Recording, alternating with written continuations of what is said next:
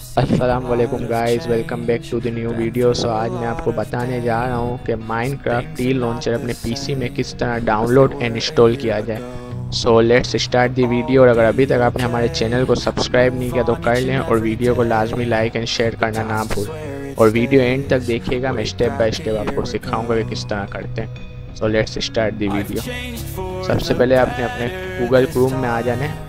और यहाँ आपने लिखना है माइनक्राफ्ट टी लॉन्चर डाउनलोड फिर ये जो पहली वेबसाइट आ जाएगी, इसको आपको ओपन कर लेना है। फिर यहाँ डाउनलोड टी एल पर आपको क्लिक कर देना है। और विंडोज़ एप्पल या जिस पे आपको हो, मैं विंडोज़ में हूँ तो विंडोज़ में करें। और इसे स्टार्ट डाउनलोड कर दें।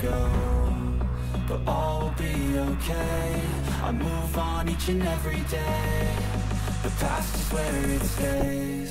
Way back a year ago.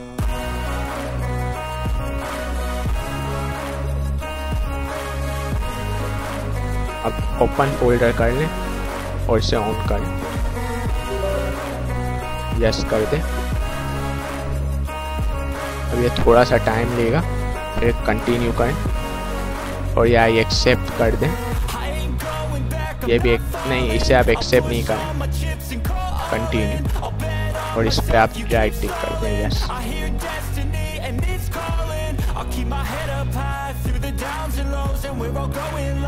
Continue कर यहाँ पे थोड़ा टाइम लेगी ये होने में। Some things are not the same as they were a year ago. But all will be okay I move on each and every day The past is where it stays Way back a year ago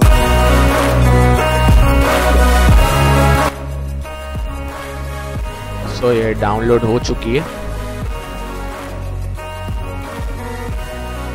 इसे आपने install कर लेना है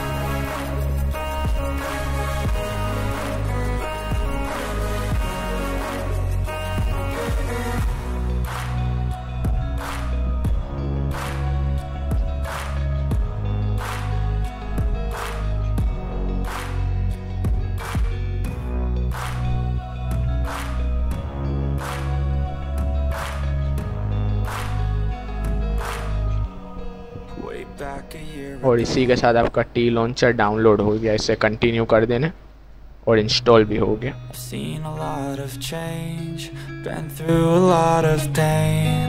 Some things are not the same as they were a year ago But all will be okay I move on each and every day The past is where it stays Way back a year ago I've changed for the better this time I thought I would never So ये आपका T launcher update है I strive just to say I'm alright इसे allow एसिस कर देना और यहाँ पर आपने अपना अकाउंट डाल देना